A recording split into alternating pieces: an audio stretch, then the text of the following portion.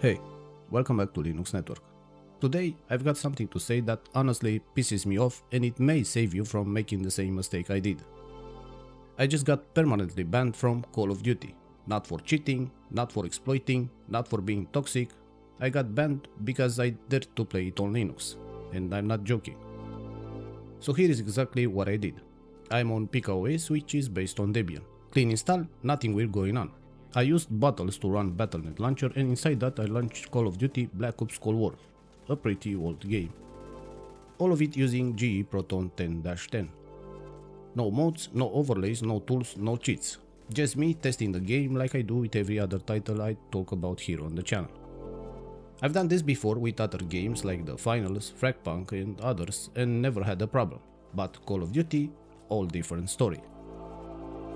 After a match, everything seemed fine. No crashes, no lag, game ran better than in Windows. Then, the next day, I tried to log in and boom, permanently banned.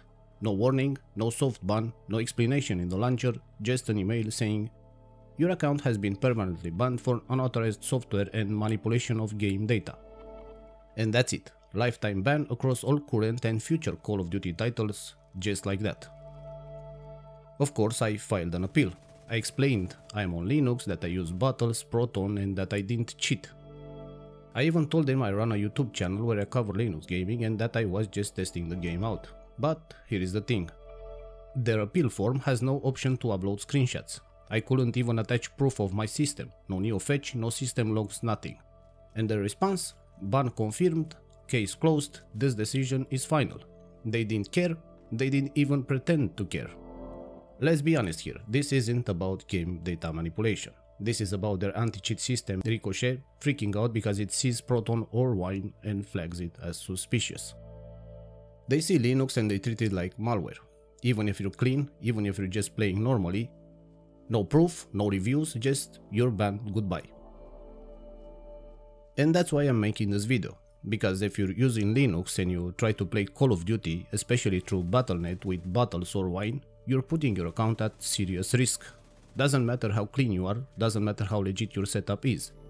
If you're not running Windows, you're rolling the dice. And Activision, they don't care if they get it wrong. Now compare that to what Valve is doing. They build Proton, they support the Steam Deck, they're trying to make gaming more open and accessible. Activision on the other hand, they don't even acknowledge Linux exists, unless it's to ban you. You know what's wild? I actually bought the game, didn't pirate anything, didn't mess with any files, and still got treated like a cheater just because I use a different OS. So here is my advice. If you're on Linux, stay the hell away from Call of Duty. Don't even try it, don't benchmark it, don't test it for fun, because you'll get flagged by Ricochet eventually and when that happens they'll shut you down with zero explanation.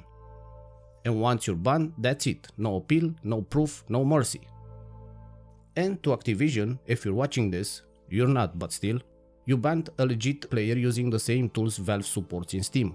I didn't cheat, I didn't abuse anything, I just run your game on Linux. And your response? A big FU. You can't keep treating Linux users like criminals. It's lazy, it's ignorant, and it's unacceptable in 2025.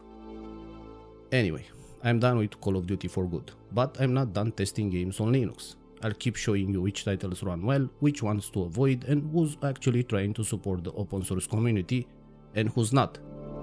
So yeah, if this video helped you dodge a bullet or just want to support honest Linux coverage, hit that like, maybe subscribe and feel free to share it. I'll see you on the next one. Peace.